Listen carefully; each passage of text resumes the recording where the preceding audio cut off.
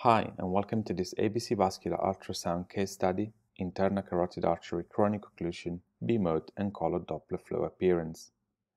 This is the B mode transverse view of the common carotid artery, which presents echo-free lumen.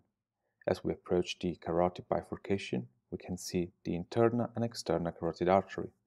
While the lumen of the internal carotid artery is not echo-free, the lumen of the external carotid artery appears anechoic therefore echo-free.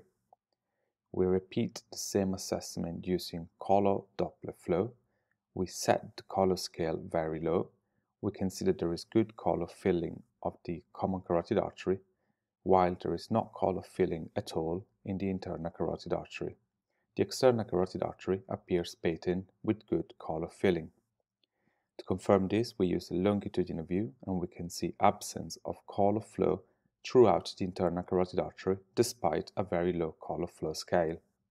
The external carotid artery is patent with good color filling.